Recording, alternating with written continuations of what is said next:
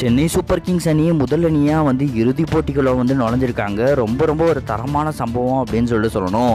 இது எல்லாமே தாண்டி சுப்மன் கில் வந்து நாற்பத்தி ரெண்டு ரனில் வந்து அவுட் ஆகிட்டு பெவிலியன் வந்து போனார். இந்த விஷயம் வந்து பார்த்தீங்கன்னா ஒட்டுமொத்த குஜராத் ரசிகர்களையும் வந்து வந்து பார்த்தீங்கன்னா ஷாக்காக வச்சிருக்கு அப்படின்னு சொல்லிட்டு சொல்லணும். சுப்மன் கிலோட விக்கெட் விழுந்த உடனே ஒட்டுமொத்த டீமும் வந்து உறைஞ்சி போயிட்டாங்க அப்படின்னு சொல்லிட்டு சொல்லணும்.